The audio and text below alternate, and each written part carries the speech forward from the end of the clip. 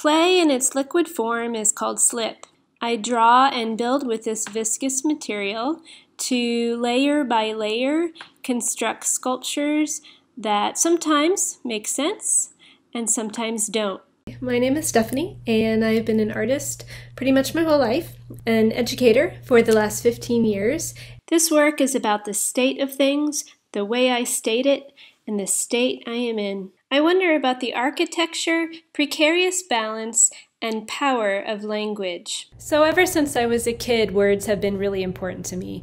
Uh, I've always read, I've always written. I have been dealing with words in my sculptural ceramics work and drawing for a long time now. Ideas of epistemology and ambiguity drive me. Currently, um, in our quarantine, words have an even greater importance in my life. They are really the only way that I have to connect with people. Um, my cats, they don't understand words, but you know, um, otherwise it's texting, it's talking on the telephone, um, video chatting. Lots of negative space. Sometimes I just feel like screen meat. I think that my work has taken on a whole new significance because sitting alone, uh, reading a text, after not speaking to another human being all day, I may or may not understand what that person is saying. I may not get what is in the container of their words that they put in. This project, um, A Word is a Cup, started before COVID 19, but uh, it is even more important now. And I just wonder about um, this potential for words to be vessels. What do they hold? They was the 2019 word of the year, referring to gender identity, but for me, it also gets at the divisive othering so prevalent in our culture right now. But it's just a word. This idea of words as connectors or vessels. These two pieces behind me, um, they are both based on the word and, which is a conjunction, a connector, uh, a ubiquitous word that we use so often we may not even think about.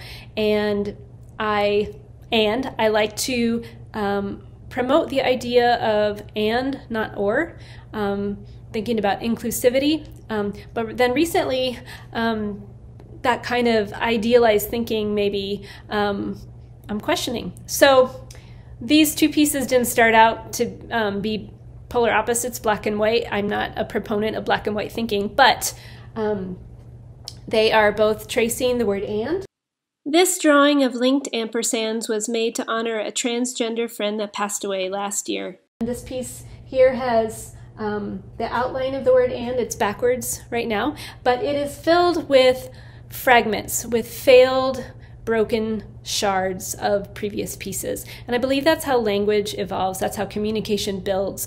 We are um, the sum of our, our parts.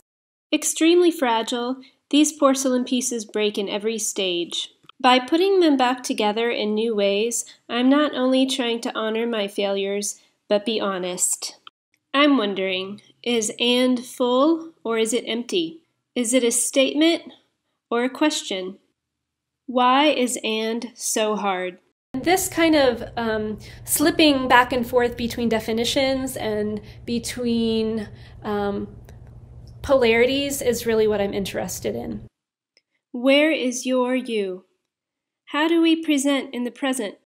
I think that words are very precious. They're nourishment. Um, like what we put in our bodies, these uh, words are what we put in our souls and our minds. And even though language might sometimes be thought of as an intellectual activity, um, this work is also very emotional. Missed and never mind. Right now, in this time of chaos, confusion, deconstruction, fragmentation, and disconnection, we have no choice but to slow down. Uncertainty and mystery are embedded in the landscape and process of ceramics. But we have to just keep spinning, adding layers, and reaching out again and again and again and again.